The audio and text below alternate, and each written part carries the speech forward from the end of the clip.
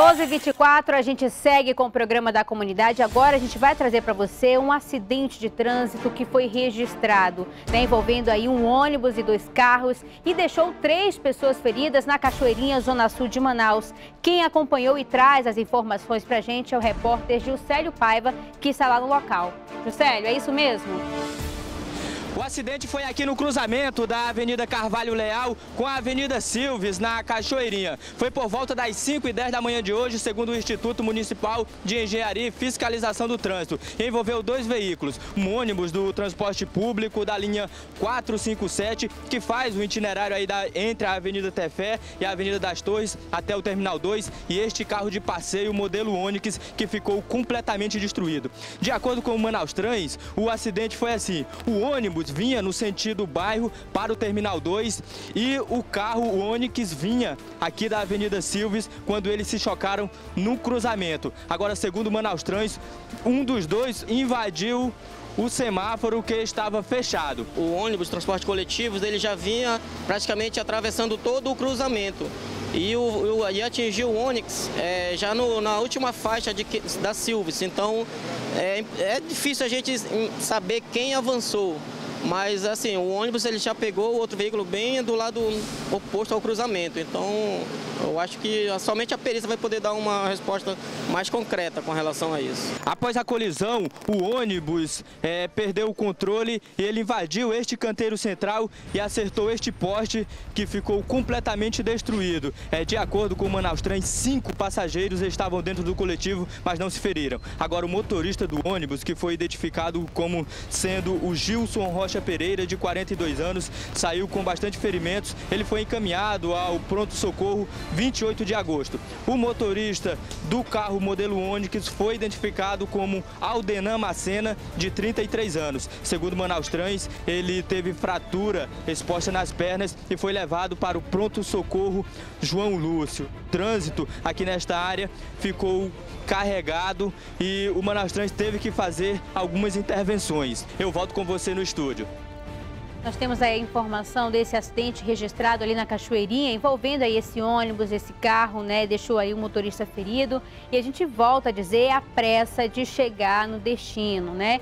Não sabemos ainda quem foi que avançou o sinal vermelho, se foi o ônibus ou se foi o motorista do carro, ninguém sabe. Né? O que a gente sabe é que realmente resultou aí nessa tragédia, nesse acidente de trânsito, né? E aí o que acontece nessa história toda?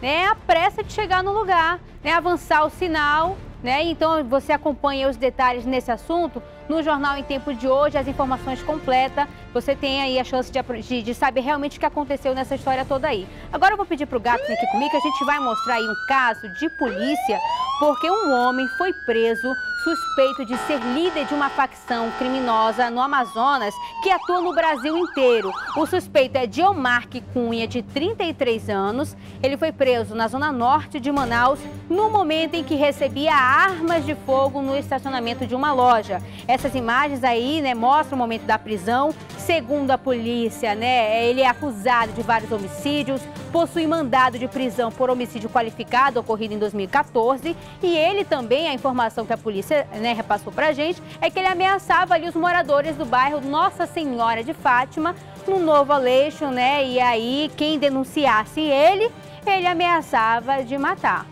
Olha só a situação, essas imagens mostram o momento em que ele foi preso. Olha só aí, né? Vocês estão vendo aí.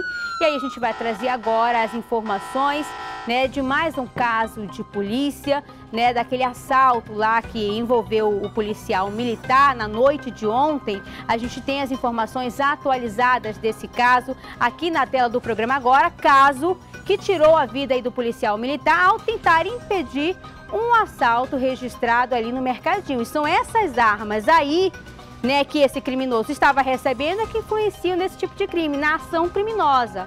Né? São essas armas, nós vamos trazer agora as informações atualizadas nesse caso. Né? Essas imagens mostram aí o momento, né? Isso aí é o velório, né, produção? O velório do policial, do policial civil ali que atuava no mercadinho.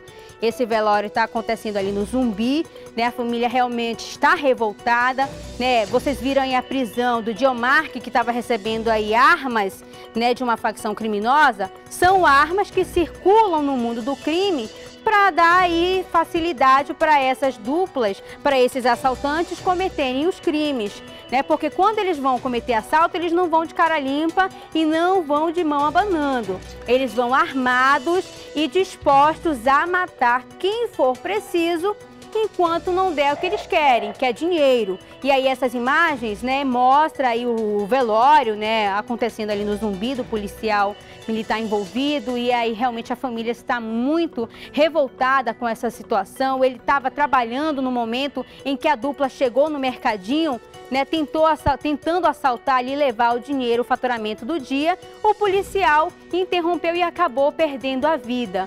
Né? São realmente é, são casos que deixam qualquer ser humano revoltado, porque a violência tem tomado conta aqui da capital e os criminosos têm levado vantagem. Um morreu, o outro, né, empreendeu em fuga e a polícia com certeza deve estar em busca dele. Agora a gente dá uma pausa aí desse caso de polícia, falar de violência e a gente traz mais uma dica para você que se preocupa com a saúde, também com a sua aparência. Vem aqui comigo. Preste atenção, recado agora em relação às dores nas pernas, sensação de peso e cansaço provocados pelas varizes. Se você está sentindo todos esses sintomas, você precisa do novo Varicel. Com apenas um comprimido ao dia do novo Varicel, você se livra das dores, sensação de peso e inchaço nas pernas provocados pelas varizes. Varicel ainda alivia os desconfortos provocados pelas hemorroidas. Veja esse depoimento. Eu tenho varizes e sentia muita dor na perna, principalmente para dançar, que é a coisa que eu mais gosto de fazer. Aí no próprio baile encontrei uma amiga minha, ela falou: "Por que você não toma varicel?" Eu falei: "Não custa nada tentar". Realmente, o cansaço passou, a dor passou e eu tô ficando mais tempo do baile dançando e muito feliz. Viu só? Varicel acaba com as dores e para ter resultados ainda mais rápidos, associe o novo Varicel Comprimidos ao Varicel Creme. Varicel está à venda em todas as farmácias do Brasil, mas a preços promocionais somente nas drogarias Angélica e Farmabem. Ao chegar à farmácia, você já sabe, exija Varicel. 12 horas e 31 minutos, então você já sabe, Varicel alivia as dores nas pernas, principalmente da mulherada que vive de salto alto. Agora a gente vai falar de uma outra coisa boa. Vem aqui, Gato Júnior. Eu agora premiado de hoje com esse bolo sabor prestígio, mandado, enviado, feito, né, direto ali na vovó Tereza pela dona Verônica, o seu Salustiano. É um bolo saboroso, fresquinho que você pode degustar em casa. É, pode ser a sua sobremesa, pode ser o seu lanche da tarde, mas para isso você tem que ligar para o nosso telefone e participar da promoção. É o 3307 3950, o bolo da vovó Tereza no agora premiado de hoje. Lembrando, você não pode dizer alô, você tem que dizer bolo da vovó Tereza e aí você tem a chance de levar essa delícia para casa. Já tem alguém na linha, diretor, ou não? Ainda não?